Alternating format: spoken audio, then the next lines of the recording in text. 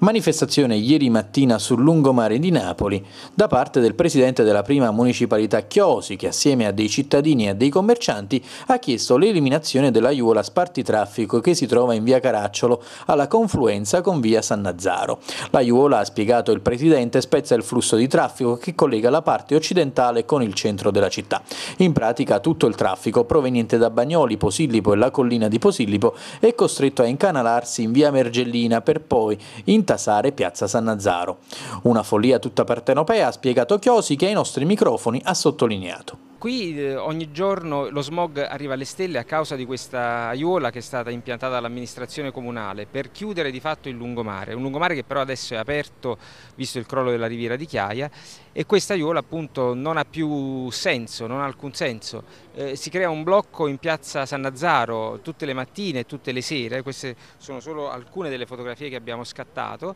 e appunto stiamo protestando perché per le vie istituzionali non siamo riusciti a convincere l'assessore a rimuovere questa aiuola. Oggi protestiamo con i consiglieri della municipalità, gli assessori, ma anche con i semplici cittadini che sono qui e che testimoniano come ogni giorno questa zona è resa sempre più invivibile da questa amministrazione comunale.